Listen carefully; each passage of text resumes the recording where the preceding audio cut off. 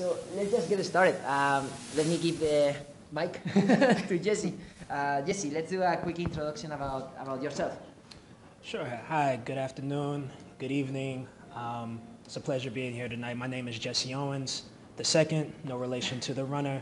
Um, I'm a product product owner at MasterCard, and the product that I oversee is a product called MasterPass. Um, and you could think of MasterPass as the digital acceptance of the MasterCard brand globally. Um, so uh, essentially what my role of responsibility is is to ensure that we we ensure we build products and solutions for our merchants as well as our issuing partners and creating seamless checkout experiences. Um, prior to MasterCard, um, I was at Imagine Easy Solutions, which is an education tech company um, which focuses around information literacy and, um, and, uh, and research. And so part of my role there was building out institutional tools for our, our schools and institutions, as well as building out the consumer-facing product. Some may know as EasyBib was the online citation and bibliography tool. Um, and then prior to that, um, I spent some time as an engineer at JP Morgan um, building intern, internal messaging products for our fixed income equities uh, desk for our New York, London, and Hong Kong, uh, Hong Kong trading desk. Um, and part of my role there was building out um, API services that our internal uh, trading desk would then consume and, and, interface in order to send trade assets out to the street. Um, and then um, just to round out my, my history, I was a comp sci major at Norfolk State University. Cool, and um, Jesse's also teaching the, the, upcoming class of the product management course. And how many times have you taught before? I've taught uh, earlier this year, uh, earlier in the spring. Awesome. Cool. Great. Hey guys, I'm Joel Palathinkal. Um, just to tell you a little bit about my background, I started out as an engineer, um, so I kind of had that technical knowledge. And after you know college, I, I went to my first job in Iowa. It was in the Midwest. It was a company called Rockwell Collins, and I worked as an engineer managing the radios that went on to F-18 fighter jets. Um, so managed that, and my role was kind of uniquely different because it was half product, half engineering. And I just realized when I had some of that experience, I really knew that I was passionate about empathizing with the user and also um, working with sales and working with um, products that actually touch the client's hands. Um, so after that, I was fortunate to be able to move to New York and work at CBS. So I don't know if anybody remembers the show Survivor, um, but we built a product where you can text to vote people off the island. Um, so did that. Um, we did a really cool thing with Second Life. I don't know if anybody knows about Second Life. That was like around for like three months, and then nobody heard about it. So um, did that for a little while, and then you know that opened up some doors for me um, to continue working in media. So worked at NBC um, and also Hearst magazines. And while I was at NBC, I did some of their fintech products. So I did CNBC, um, really understanding the user's journey on the financial side, and that opened up some doors um, to work at FactSet. And now I'm the head of product um, on mobile and web technologies at, uh, at FactSet.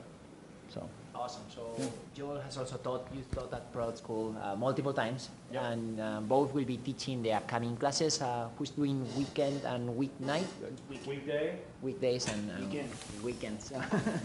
cool. So, I mean, I have a few questions prepared uh, just to break the ice, but the idea here is to open the floor as soon as possible. And if you have any questions about product management, careers, or anything in between, feel free to fire. So, well, first question for you guys is, uh, how did you get your, how did you break into product management? Like, none of us had this, like a traditional career path, so what inspired you, or who gave you that first opportunity? How did you make it happen? Yeah, I would say uh, what inspired, I, I, okay. Uh, I would say what inspired uh, the transition in the product for me uh, was partly because of 2008 being at uh, being at a financial institution and after having something so catastrophic happening, it just forced you to sort of reevaluate things, um, reevaluate what are some of the, your core values in terms of what you want to start building, um, what sort of industry you want to be in, um, and also looking at yourself personally, like what sort of skill sets do I need to to be immune to any sort of in sort of any sort of um, impacts to the economy. So looking out to looking to round out my skills. Um, and I felt like at the time I was fairly technical, um, but I, I, I, knew in myself that I didn't quite have the business acumen or the, experience in design.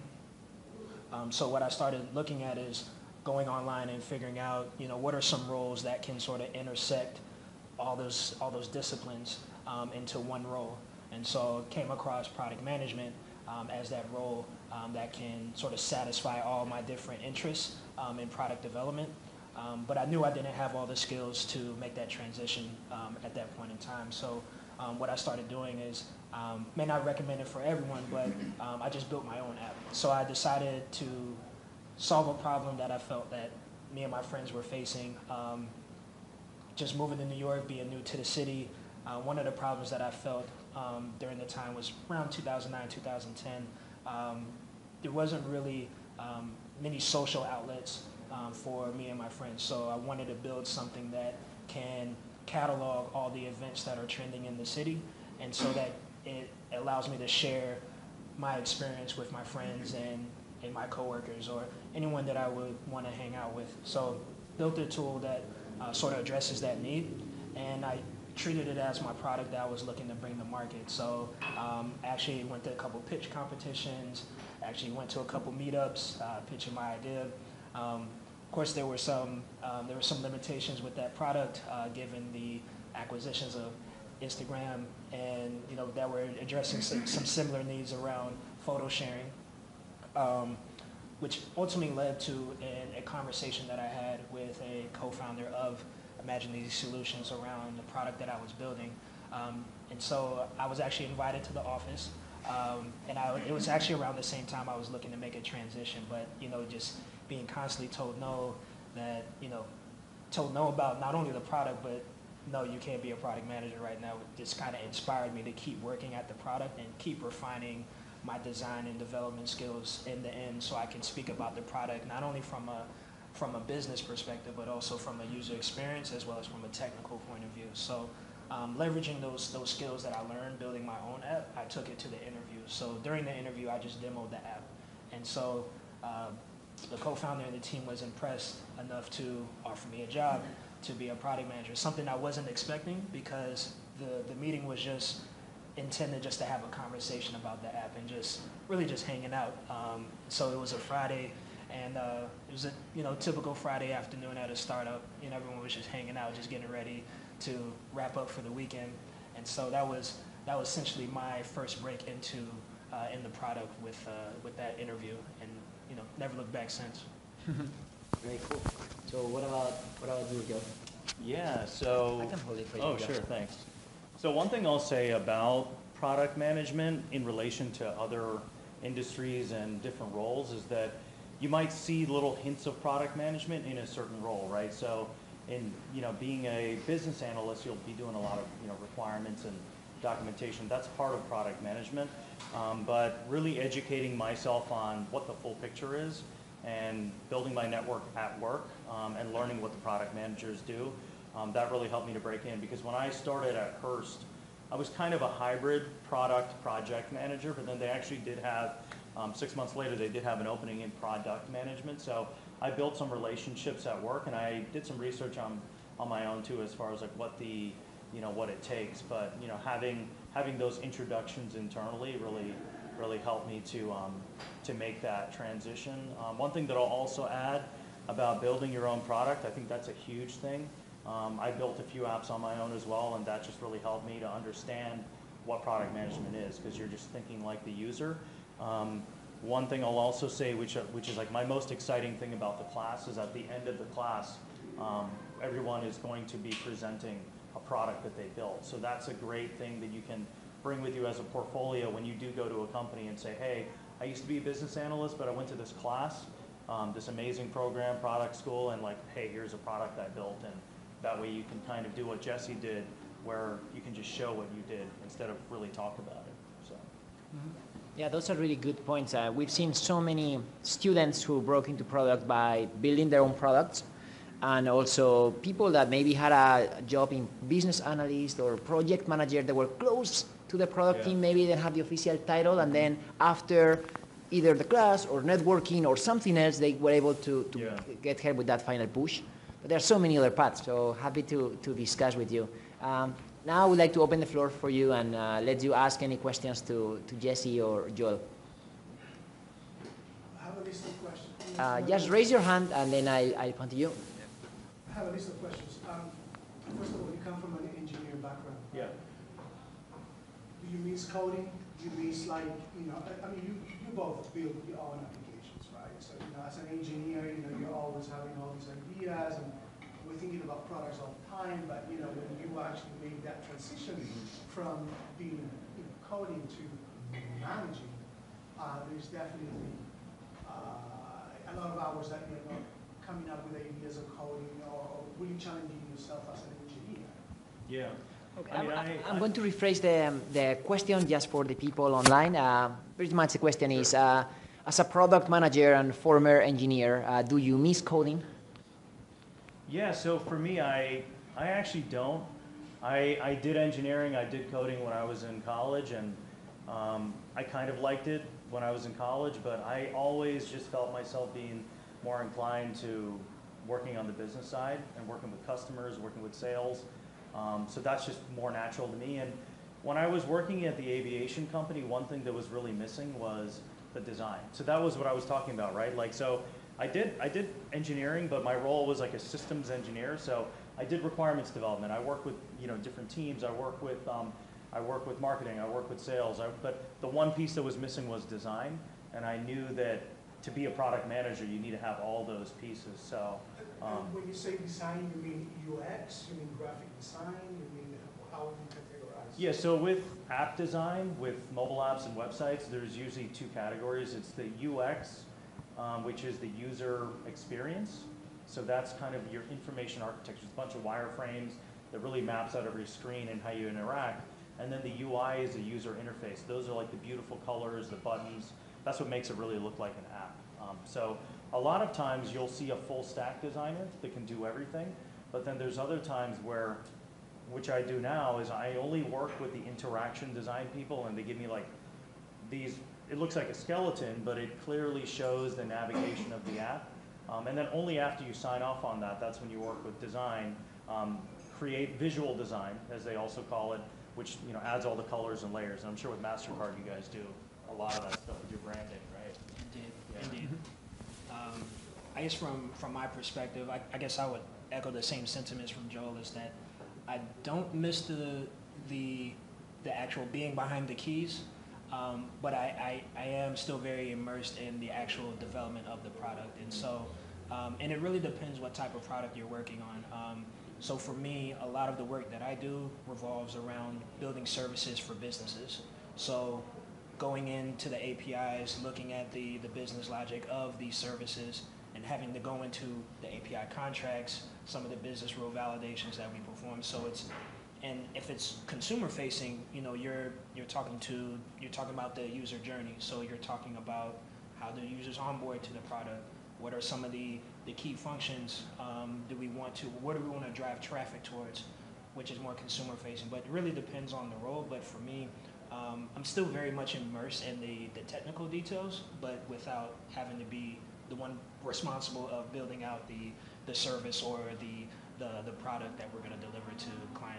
And they do have these roles that are called technical product managers. So those roles serve that great purpose too for people that do still miss the coding part and do still miss kind of the technology, but they're still also building business requirements. And I've had a few students in the past that were engineers and they were fortunate to transition into a role that's kind of still a hybrid. That's still a little more technical than a normal product manager, but they're not knee deep in the code, writing all the, you know, committing, committing code like every couple weeks, so. Yeah, it's, and I'll just, just add one last thing. It's just important that you distinguish the type of product roles you feel your skill sets best aligned to. So kind of what we talked about, if, if the product um, or the role that you're looking for really focuses around building services, quite naturally is going to require you to be a bit more technical versus a product role that's more consumer facing. So be very mindful of those sort of roles that you're looking at because it's going to require different skills in order to be successful.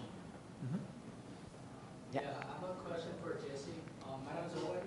Um, so you talked about you work at Mastercard and you have this product called Mastercard Pass, right? And that's a that's a like a to, to be a solution. So do you have to work with merchants and working on integration projects? Is that what you like? Right, Yeah, right. so- So, The, the, the question is uh, about MasterPass. Uh, do you get to work with different integration partners? Yeah, so we work with our integration partners via our commercialization. So we have um, how our organization is split up. We have product managers who is responsible for going out to the markets um, that basically the markets that they own and talk to merchants, talk to issuers, and come back with some of the feedback from those partners. And what what my role is, we're, we're supposed to deliver solutions that addresses the need of either the merchants or the our, or our issuing partners. Um, Okay. that, that's why, yeah. So I'm wondering about, for people who aren't technical and are looking to get into product management, what are the biggest challenges you see? Okay, so the question is for people who are not technical, what are the biggest challenges that you see when it comes to breaking into product management? You take that one. Um, I think the challenges, the level of challenge also varies from what industry you're coming from, right? Like if you were a Broadway actor, that might be a little more difficult than someone that was a business analyst, right? So I think there's a, there's kind of a, a spectrum of the variation, but I think with anything, sometimes when you're changing industries, you have to expect that you're probably not going to get the same exact salary. You might have to take a little haircut because you're learning and you're taking a new junior role. But the great thing about product management and the tech ecosystem, especially in New York and San Francisco, is that if you you know get some experience and you work hard and you can prove yourself, you can move up and and um, you know build your experience really fast. So.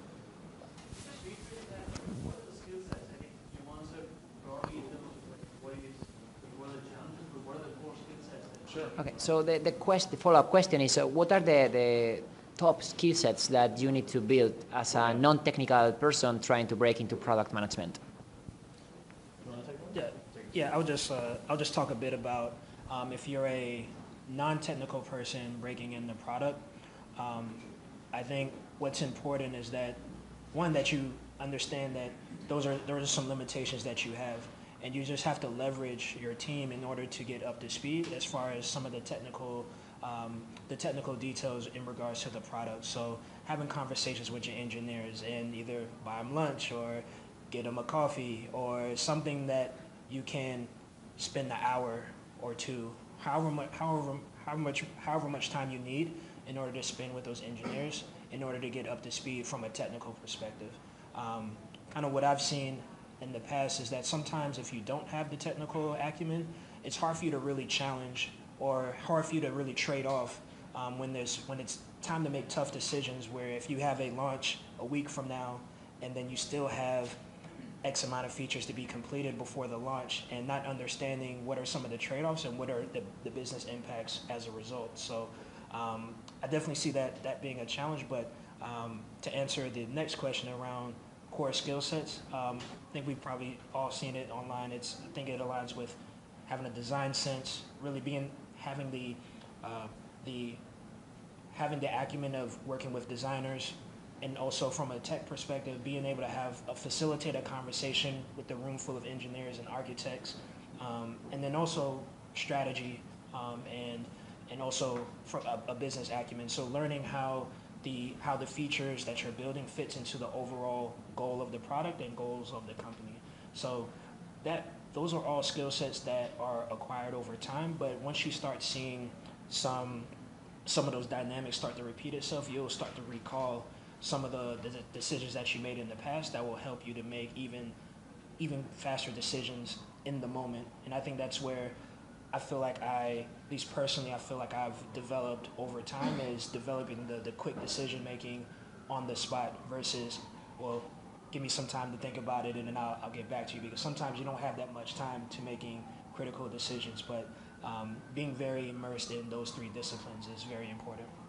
I've got a few more skill sets that I could add. Oh, sure.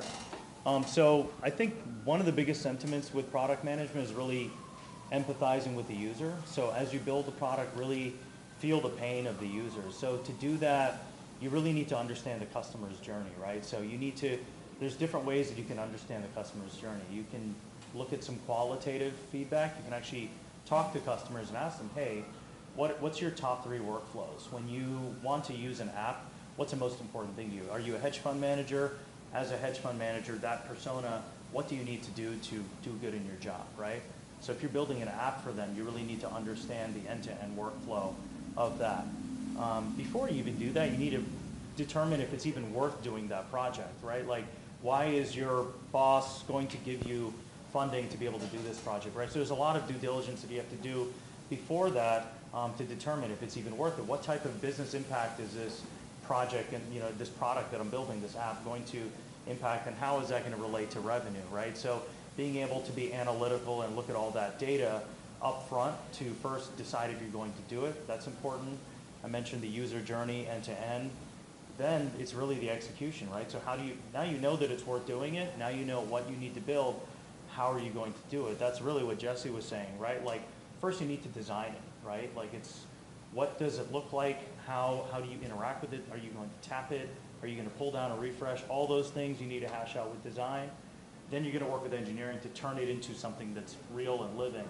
Um, and then how are you going to launch it, right? Like what, how do you, how do you, how do people know that you even launched that, right? So that's where you work with product management. You work with sales so that you can promote sales enablement, right? So sales can go out and sell the product and, you know, bring in revenue for the, for the um, company. So, you know, we'll, we'll drill into like a lot of the granular details in class, but really those skill sets of like just owning a product from maybe an idea or a concept to really seeing it into an app is like that whole journey that you're going through. So I hope that was helpful. Yeah. Yeah, I'll just also, just quickly, I'll just add organization um, is going to be extremely important when you, I know it sounds, sounds cliche, but you'll be amazed on how many different priorities gets thrown your way and having to organize it in, in a succinct manner to where you're still able to deliver, but able to maintain and re, reestablish relationships that you have within the organization because a lot of your role is you're going to be a relationship manager and sometimes you're not going to be able to get everything done that you would like for your stakeholders and learning how to communicate to them when things aren't going to be delivered when they when they expect it. So, um, yeah, just wanted to reiterate that. Okay. Yeah. Yeah, I feel like the role of product manager kind of differs depending on the size of the company, whether you're at like a small tech startup or like a big media corporation, and depending on the industry, whether it's fintech or uh, something else. You know, what would you say is kind of the difference in the experiences as a product manager and whether the company is small, large, or depending on the industry? Okay, so the question is what are the main differences as a product manager depending on the company size, but also depending on the company's industry? Yeah, so the biggest thing I would say is just the multiple hats that you have to wear, right? So if you're at a startup, you might be running growth too. You might be doing Twitter posts and promoting the company. Um, you might also be doing the design too. So I, I, I currently advise a couple startups now, and I get my wrist slapped sometimes because I just go ahead and do the design. The designer gets a little mad, but um, the startup, like somebody, you need like extra hands to do it. So you'll be finding yourself learning things very quickly. And the biggest difference with a startup and a big company is um, if you mess up, oops, like the company can go under. If it's a big company, oops, it's okay, you know, just get it right like next quarter, you know, and it's all right. You know, nobody cares. But that's, and also like big companies, if you want to, if you want to make a change to design, you have to go to the design department, make a request for design, and there's, there's a lot more layers of bureaucracy and, and uh, processes in place. It can be a good thing and a bad thing at the same time. So, um, but there's more stability at a bigger company usually. Um, smaller companies, it's um, you're just kind of running around with your head chopped off and hoping everything works out. So, Uh, Actually, I'd like to follow through that question. Uh, In light of like big and small companies and the, like the, the stakes between success and failure between startups and large companies, when it comes to like breaking in for those who are, do, do not come from like products. Sure. Um, which one's easier? to break in? So the, the, the question is, I, I'm afraid of even rephrasing this question. let me let me change it a little bit. Uh, what takes to break into product management in a smaller company, and also what takes to break into product management at a larger company. um, okay, I would say at at a smaller company, they're looking for not just they're, they're looking for skill a multitude of skills, um, whereas in bigger companies, they're looking for specialization. So if you specialize in consumer or you specialize in marketing, then they hire for that role. Versus at a startup where you need someone who can wear many hats and do many things, you want you probably would want to look for someone that can do a multitude of things or that can assist on different different aspects of the of the company because you don't necessarily have the budget to hire for each every single specialty.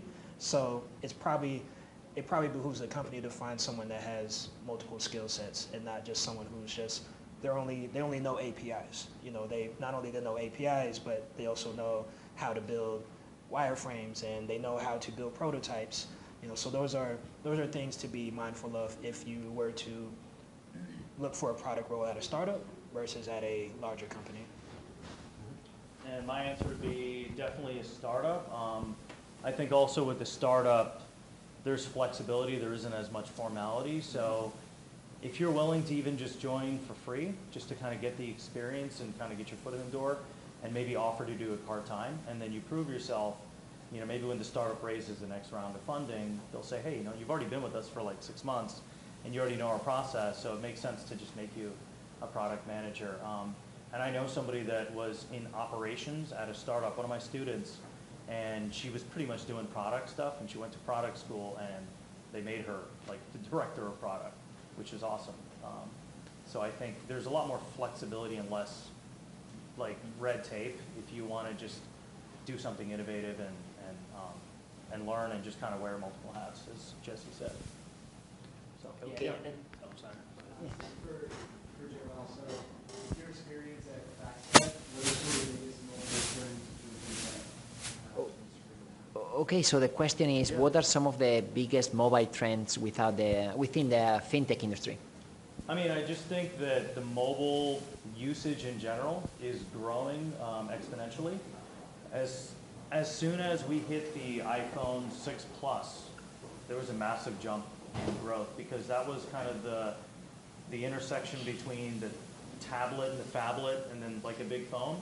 So a lot of the people that wanted tablets, they were really happy with the 6 Plus, and we just saw a surge of usage. So I think um, another big trend is tablet isn't really changing that much. Tablet is in parity with desktop and web. Um, because tablet, if you think about it, and we've done a lot of user experience research on this, users, users want what's similar on the desktop on tablet because there's more real estate, but it still needs to be optimized for tablet, right? So the buttons need to be big enough to tap um, opposed to a desktop where you're going to be clicking and hovering. Um, so those kind of like from a usability standpoint, um, those are some high level trends. And then I, I see it's still, I see phones still growing. And as you, you know, as you know, like, you know, Moore's law was kind of something that people were talking about a few years ago. It's not completely true now, like just, you know, the computing power doubling. But people, you know, the phones are going to continue to get more powerful. And people are going to, you know, take the phones and hook it into a docking station that's actually going to turn into their computer. Um, and Microsoft's already done a few things like that already. Um, I think they call it a clamshell device where it's a dock, drop in the phone, and the phone is really your PC. So users in the fintech space and probably in any other enterprise space, their work never stops, and they want to still be able to check and be up to date no matter where they go. So that's their user journey. Um, as your product manager, you really need to kind of understand that that use case. Um, and like I said before, I'll really stress this. I mean, really empathize with the user, right? They're they're on their train home from work.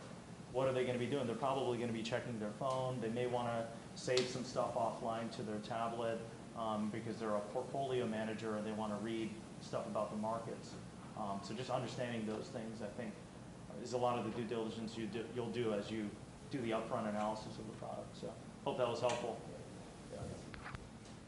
So what's the difference between building an internal application for a large organization versus shipping a product, a product that can be used by millions of people across the world? So from a PM point of view, what's the difference? Okay, that's a great question. So what's the difference uh, between building an internal product in a company uh, on uh, building an external product for thousands or, hun- or hundreds of thousands of users? Yeah, I guess it just really depends on what's the problem that you're intending on solving. Sometimes um, it probably makes sense to build an internal tool versus building something off the shelf because it doesn't really support the level of customization that you need.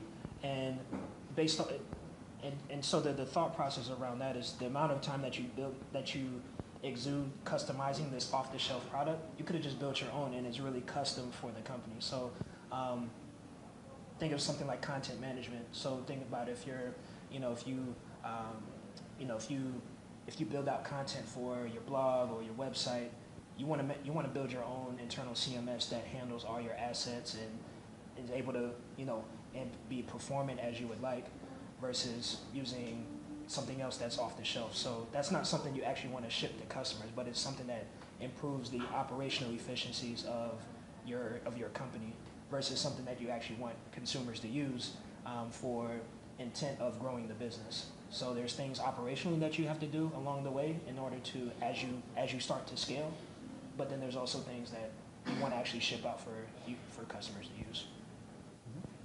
Yeah, and I've done both, right? So I've been, you know, at NBC and CBS, and those are consumer apps. So to really move the needle, you're looking at, you know, millions of users, um, especially if you're trying to make money off of ads.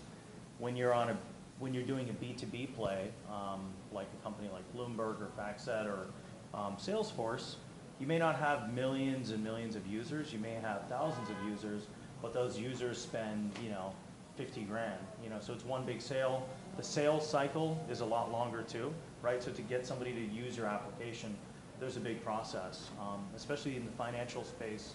When you're working with institutional investors, um, there's just that whole process there. So if you lose one of those clients, it's a big deal. If you lose one user from your pool of millions of users, just serve up a couple more ads and optimize your ads, and you may be able to make up for um, that segment. So I think the user acquisition is different. Um, you can also get different data, right? So you can get a lot of qualitative data and you can build relationships with your customers and get real-time feedback um, that's real tangible from the enterprise space. When you deal with a consumer app like NBC or if you work at Uber, you really just have the data. You know, I mean, you could probably do some UX research and invite some people to do some user research, which they do. Um, but it's a little, it's kind of secondary because you're kind of inviting them in and they're, you're not really working directly with someone that kind of touched the product. Um, so I think those are kind of the differences. And it depends on what your goal is for the product because the goals are going to be different too. So. Uh, what are some tips or pitfalls for when like you're interviewing a client, kind of trying to find their? Okay, so question is, what are some of the tips or pitfalls that you have seen when you're trying to do some user research Yes. with, with users of your product? Yeah, I would I would say when um, I would I would definitely say when you try to lead with features versus trying to understand their problem.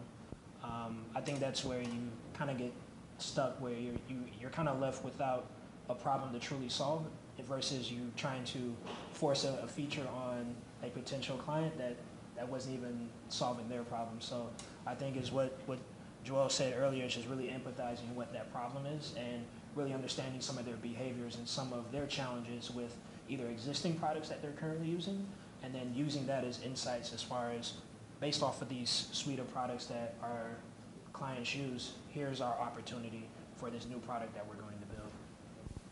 Yeah, I would definitely stay away from solutioning. So, as Jesse said, right, like, I mean, you don't want to go in and meet the client and say, hey, um, are you saying you want a button that you tap on? And when you tap on it, there's a green light that shows up. Um, so you're just kind of telling them what you want to do because you think it's a cool feature, when you really should just be not even talking about any features, just ask them to just completely do all the talking and tell them what they do, you know, in the morning till the end of day. What's their workflow? That's really important. Um, a lot of times, like our technology, when we tried to do UX research, it worked great in all our dry runs, and then when we meet the client, it just doesn't, like the screen share for some reason doesn't work. So just making sure you dry run it and make sure like the technology, if you're going to be recording users, um, just make sure you have like a good process in place to, to do it and like your operations of that um, are really smooth because that, that's ruined a lot of our data, just, you know, not being able to access the logistics of it, so, yeah. What kinds of challenges do you enjoy solving, and uh, where do you see yourself in five years?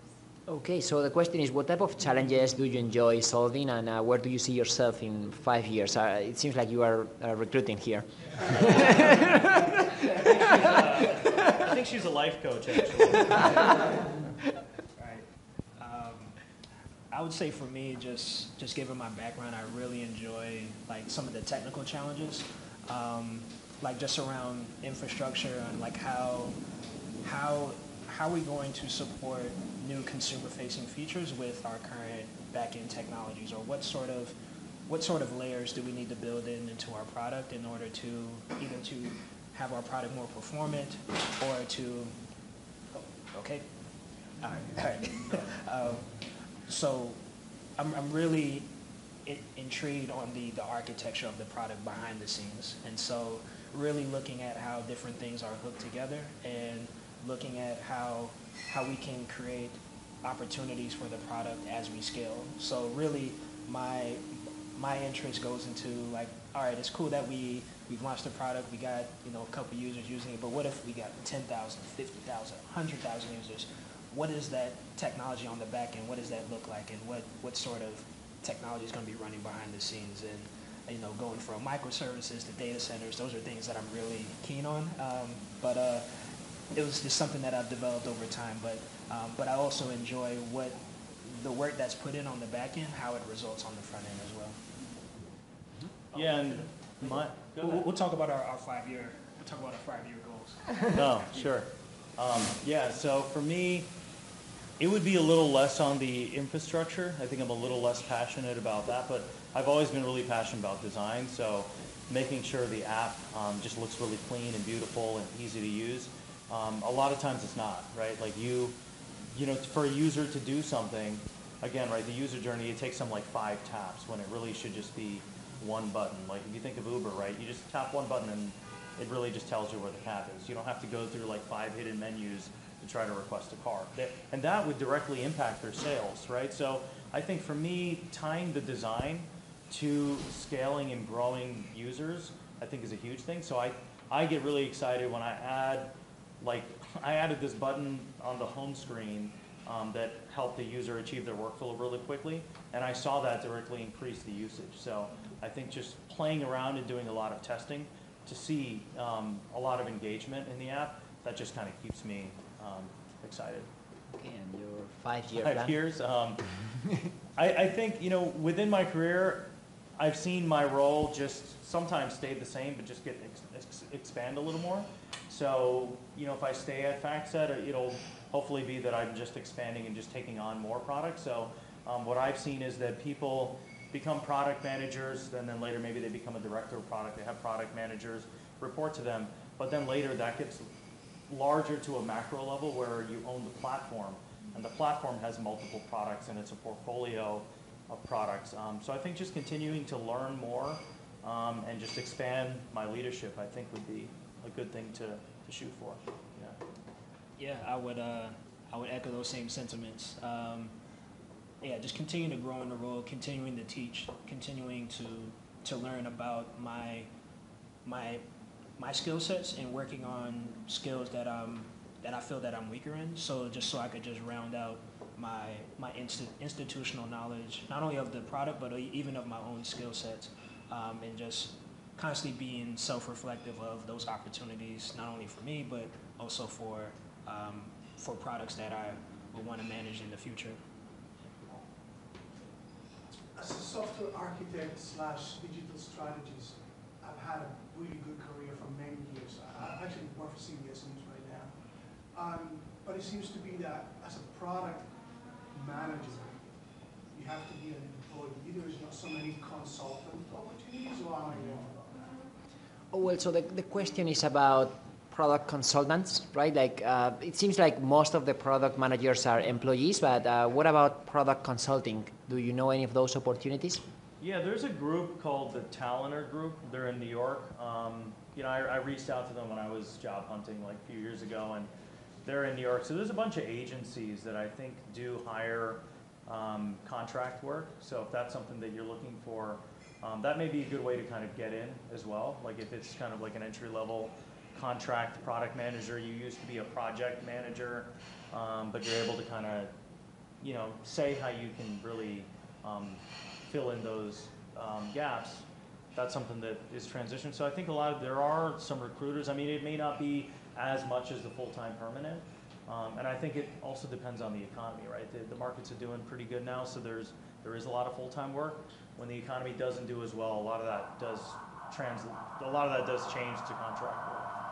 So Yeah, I think um, a company that comes to mind is Huge, and they're based out in Brooklyn. It's a it's an agency. So the work in nature is is agency work. So they'll work with different brands on different problems that they have with their products. So you'll be tasked to solve those usability problems, the experience problems. So maybe you could still be an employee, but the work in itself is it's you're you're a consultant, I'm and so totally not consultant, that's why I. Oh, Yeah, no, I, that- I, I also know a website called Gigster, uh, G-I-G-S-T-E-R. They also offer those type of services. Uh, it's kind of like a higher level version of Upwork or Freelancer.net, where uh, clients can hire um, a product manager who will be the point of contact between the client and the engineering team. So that's another interesting web to check out. How do you spell that again? Uh, G-I-G-S-T-E-R dot com.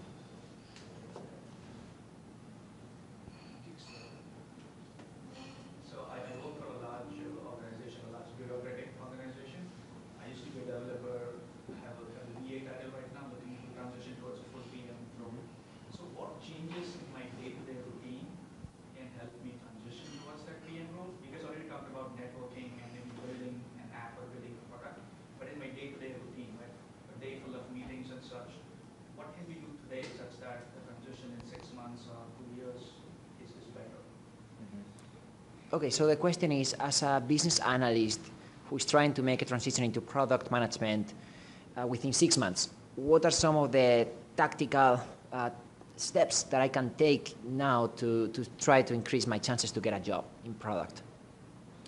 Yeah, so I would say um, definitely what you can start doing now is subscribing to. So there, there's some there's some good resources online that you can start um, start consuming yourself with because as as a product manager, I think one of the I think one of the skills that we didn't mention is being a constant learner, and so I think a part of that is reading a ton.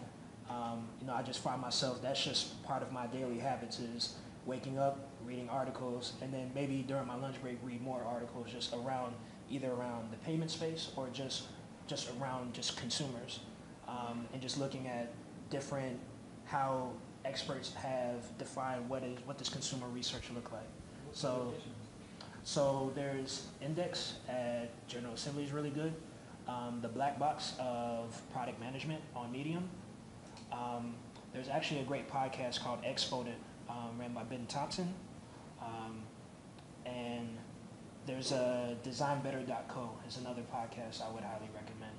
Um, just to learn and just to really be immersed on how experts are viewing product development and just just really just absorbing a lot of information as you start to refine what your what your role is going to look like in the future. So you so you mentioned that you're a- you're a BA. Um, a lot of what you do is an aspect of product management because you have to define very clear requirements for your engineering team to now go and execute and deliver. So you can start framing your resume in a way that it it it looks like you you've done product work because in essence you have. So you can start doing that and start collecting feedback around, you know, what what else needs to be packaged up to be even looked at as a product manager. So, um, you know, I would just say just reevaluating your reevaluating your resume and just how how do you want to and compare it to whatever resumes that resumes that you see um, online and just make sure that you're addressing some of the the, the key the key indicators that you are a PM or you have the skills to become one. Yeah, and I'd say, you know, you could know all of the knowledge about product management. You can know the whole workflow. You can say all the buzzwords we're saying.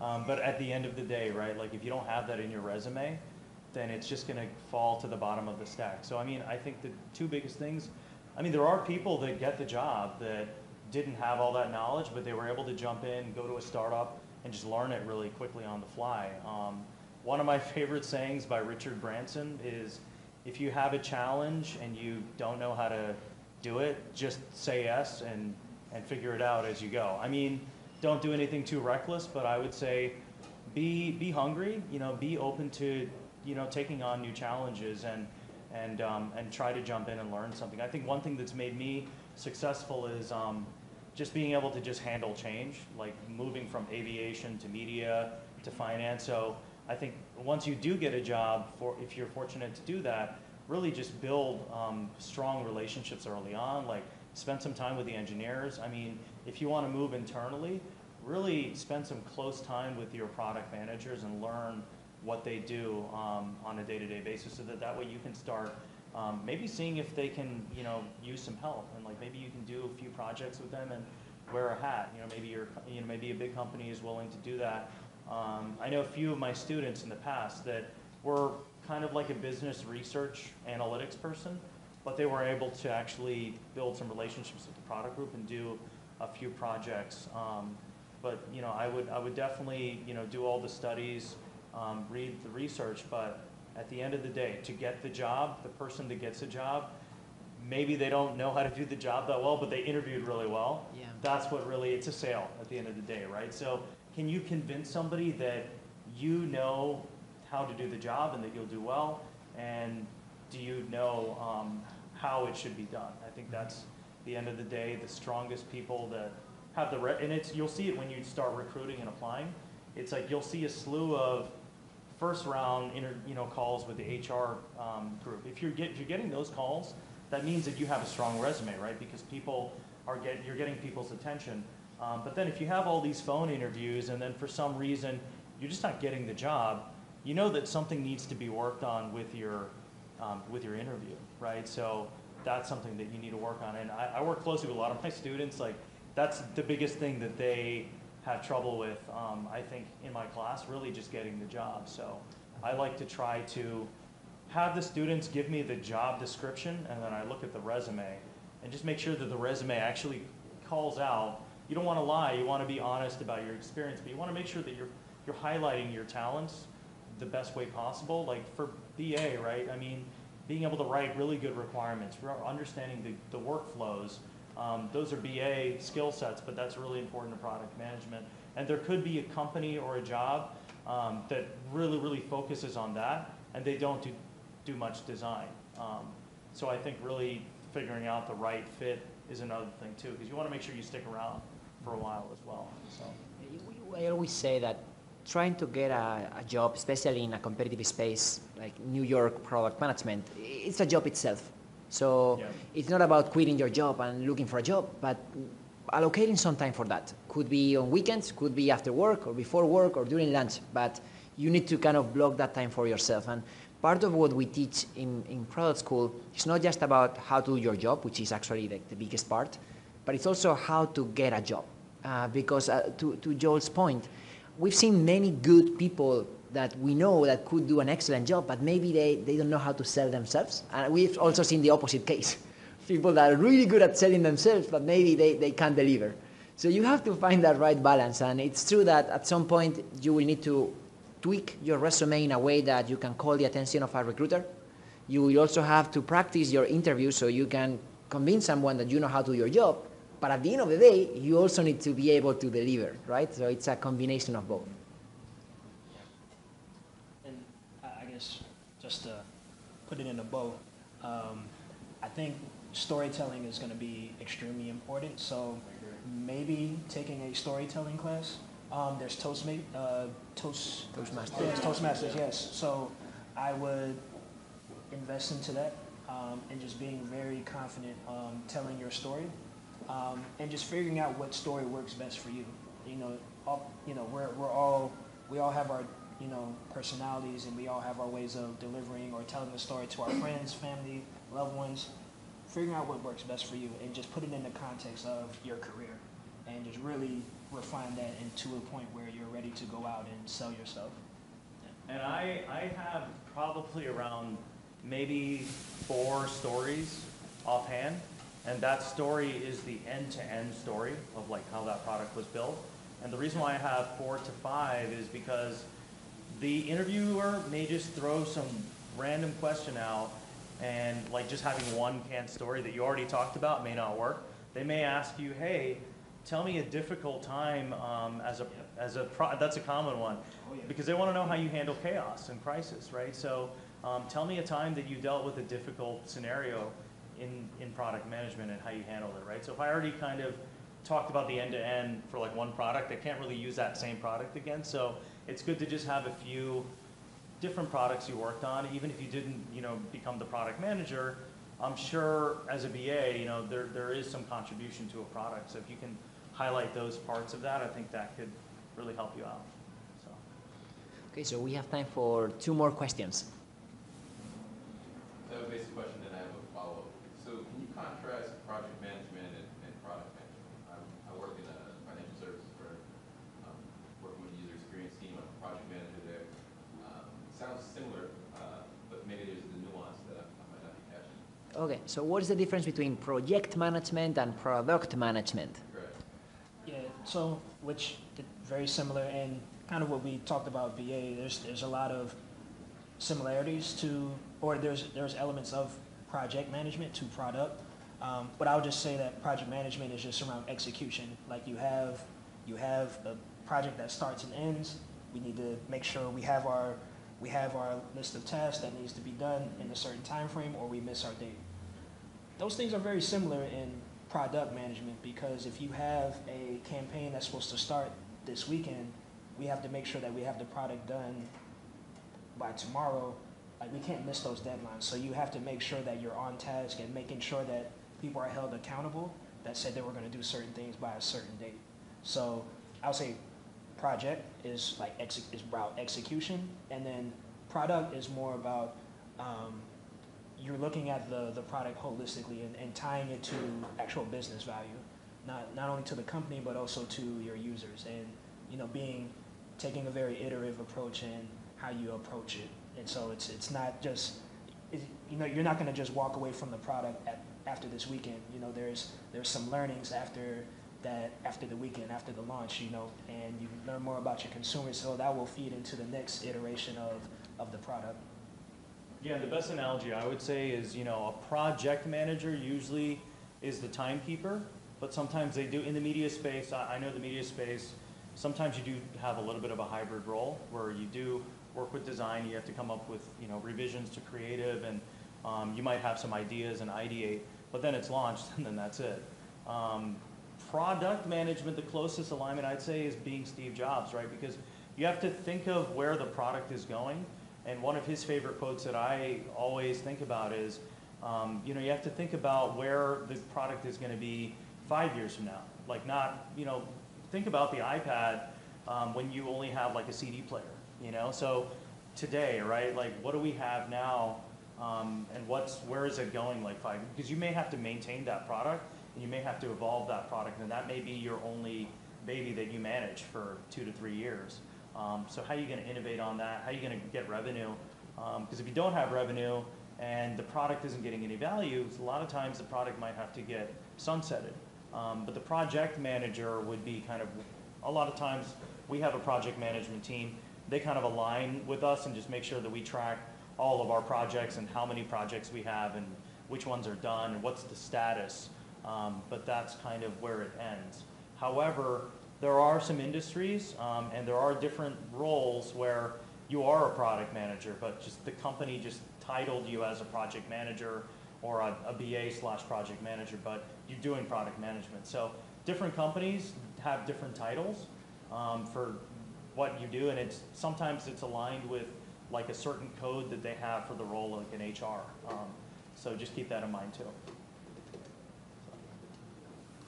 Um, what do you think you bring to the table as a PM that's more unique than other PMs?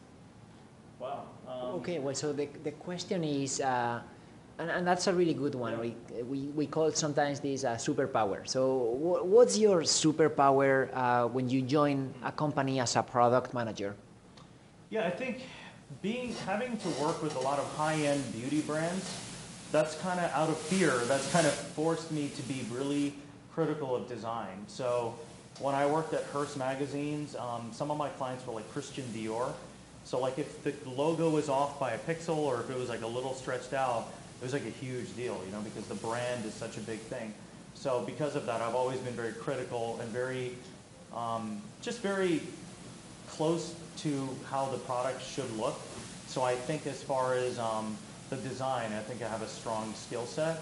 And I think the big thing with me is really I can I think I can jump into different industries and different projects and try to pick things up really quickly. Um, and I think that um, is really helpful, especially if you want to change industries. So. Yeah, I would I would say that um, my superpower is that I'm bilingual, and bilingual in the sense that I can jump into a design conversation and have a very not a productive conversation with designers about how the experience should flow and how it should work, but also I'm able to jump in a conversation with our lead engineers and architects on how should this be architected and how what are our data models going to look like in the future to support these new features. So um, I think I've been very comfortable in both spaces, um, and, and I think that's led to, to ultimately like me being successful and, and also being able to connect some of the two disciplines when they're sometimes they may be at, at odds with each other. Like the design doesn't work, work well with the architecture, architecture doesn't work well with the design, and so kind of being the, the middleman and help facilitating that conversation so that we can continue to move forward and everyone is can can operate in flow is uh, something that I, I truly hone in on. Great. Well, thank you so much, uh, Joel and Jesse. This was great. Um,